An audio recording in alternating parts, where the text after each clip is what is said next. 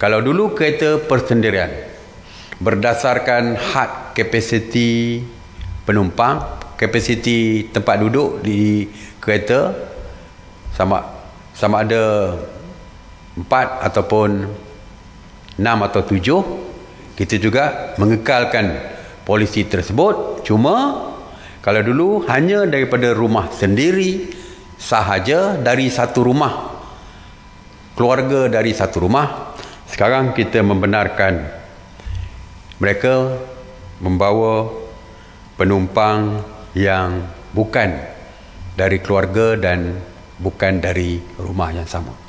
Misalnya kalau mereka uh, ke pejabat ada pool, ya, ada beramai-ramai dengan rakan sepejabat mereka, kalau dulu tidak dibenarkan.